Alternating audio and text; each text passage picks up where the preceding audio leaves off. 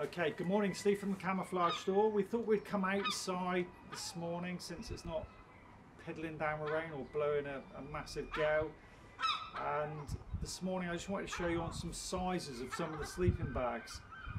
We do get asked quite a bit on the size comparisons between some of the Snugpak sizes, especially the Softie threes and things like that. So I just thought I'd bring four of them out and just to show you some of the different sizes. So this one is a Special Forces one. This is the UK made one. Uh, well, I think it's only UK made anyway. But that's the Special Forces one sleeping bag. Okay.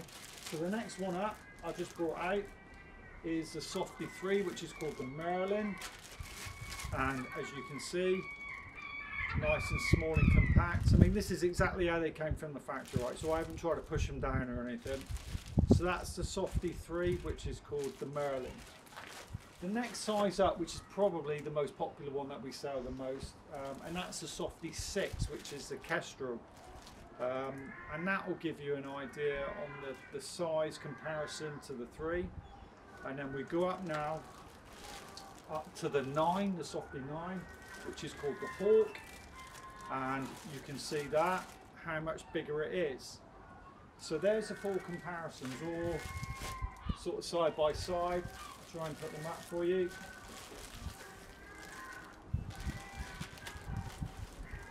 Okay, so that's um, probably all going to fall down now, but that'll give you an idea. Alright, put that there for you. Alright, so that'll give you an idea on some of the sizes. I hope that helps you. Let's pop that back down there.